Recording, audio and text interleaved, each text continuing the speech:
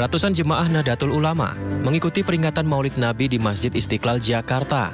Acara ini turut mengundang tokoh publik di antaranya ulama Gus Muwafik dan bakal calon gubernur Jakarta Ridwan Kamil.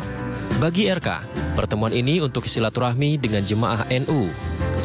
Di hadapan jemaah NU, RK juga mengenang dirinya sebagai sosok cucu Panglima Hizbullah NU yaitu Kiai Haji Muhyiddin.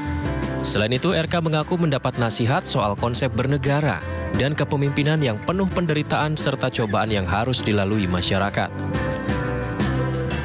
Silaturahmi aja, kan saya keluarga besar juga Nadatul Ulama, kakek juga ulama NU. Dinasehati Gus Muwafik tentang nilai-nilai Rasulullah kan uh, sebagai bekal dalam takdir kita masing-masing apalagi tentang konsep bernegara konsep uh, kepemimpinan yang penuh penderitaan dan cobaan yang harus dilalui uh, dan tentunya jadi bekal moral saja ya. RK juga menambahkan kehadirannya dalam acara ini tidak ada maksud lain selain hanya sebagai tamu yang diundang untuk merayakan maulid bersama jemaah Nadatul Ulama. Dari Jakarta, Syahreza Zanski, Rama Romadona, iNews melaporkan.